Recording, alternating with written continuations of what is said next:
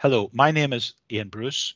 I would like to share highlights of our manuscript reporting the degree of concordance between different clinical outcome measures in a pooled analysis of three phase two or three trials of anifrolumab in patients with SLE. Anifrolumab is a monoclonal antibody targeting the type 1 interferon signaling pathway and is approved in several countries for the treatment of patients with moderate to severe SLE alongside standard therapy. As SLE affects many different organ systems, efficacy assessments for SLE therapies often use composite indices of global lupus disease activity, such as the BILAG-based Composite Lupus Assessment, or BICLA, and the SLEDAI-based SLE Responder Index 4, or SRI4. Clinical trial responses to anifrolumab were investigated in patients with SLE in the phase 2b MUSE trial and the phase 3 TULIP-1 and TULIP-2 trials using both the BICLA and the SRI4 indices. Looking at week 52 data across all three trials, the BICLA responses when used as a primary or secondary endpoint consistently favored anifrolumab. The SRI-4 outcome at week 52 favoured anifrolumab in both MUSE and TULIP-2. However, in TULIP-1, the treatment difference between anifrolumab and placebo with SRI-4 did not achieve statistical significance. The purpose of this analysis was to assess the degree of concordance between BICLA and SRI-4 across anifrolumab trials and to determine whether a subgroup of patients with discordant BICLA and SRI4 outcomes could be identified that may explain the lack of significant SRI4 treatment difference in TULIP-1. To our knowledge, this is the first analysis into discordance of BICLA and SRI4 responses. This was a post hoc analysis of pooled data from patients with SLE who received intravenous anifrolumab 300 milligrams or placebo every four weeks for 48 weeks in the randomized double-blind 52-week MUSE, TULIP-1 and TULIP-2 trials.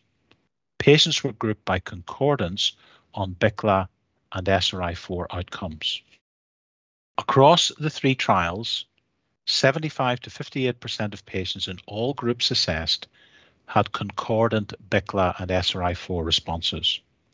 The proportion of patients who were dual responders was higher in all trials in patients receiving anifrolumab 300 milligrams compared to placebo. In TULIP-2 and MUSE, the pattern of discordance was generally similar across treatment groups. However, in TULIP-1, more patients receiving placebo than anifrolumab were BICLA non-responders and SRI-4 responders, thus reducing the overall TULIP-1 SRI-4 treatment effect by 8.5 percentage points. This subgroup in total consisted 11% of the TULIP-1 population. Patients from TULIP-1 who had SRI-4 response without BICLA response were then investigated in more detail. Those who received placebo had lower baseline SLEDAI-2K scores and joint counts than those who received anifrolumab, and fewer placebo patients had no A and greater than or equal to 2B BILAG 2004 scores at baseline. These imbalances were not observed in any of the other TULIP-1 or TULIP-2 subgroups. Despite these differences, the proportion of patients who were able to taper their glucocorticoid dose was also lower in the placebo group, although results should be interpreted with caution given the small group sizes.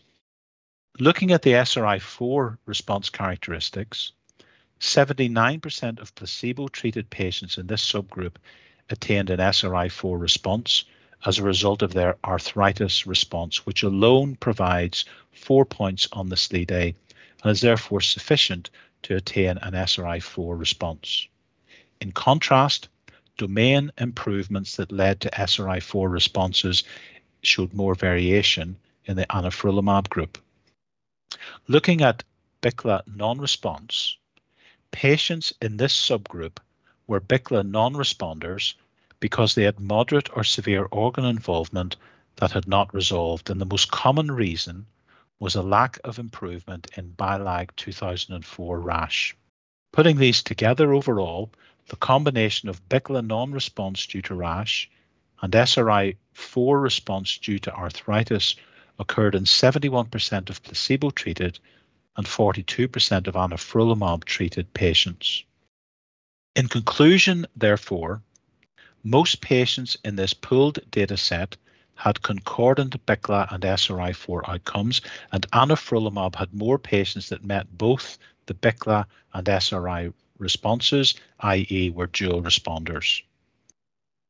A BICLA non-responder SRI-4 responder subgroup was identified in the TULIP-1 population, in which there are imbalances such as resolution of arthritis and differences in glucocorticoid tapering that likely drove this discordance in favour of placebo. Careful attention is therefore needed to baseline disease activity and monitoring glucocorticoid taper variation in future SLE trials.